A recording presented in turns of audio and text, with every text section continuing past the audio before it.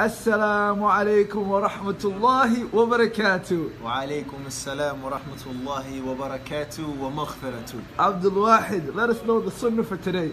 Today the benefit is how the Prophet sallallahu alaihi wasallam used to make ghusl with Aisha radiallahu anha from one vessel. To the point the Prophet sallallahu alaihi wasallam used to take more water from the vessel than Aisha. And Aisha radiallahu anha said, Ya Rasulullah, leave some for me, leave some for me. This hadith is reported in Bukhari and Muslim. Look at how the Prophet ﷺ used to deal with his spouses in the best of manners. So, brothers and sisters, those who have spouses, implement the sunnah of making ghusl together, for it increases the intimacy and love from one another.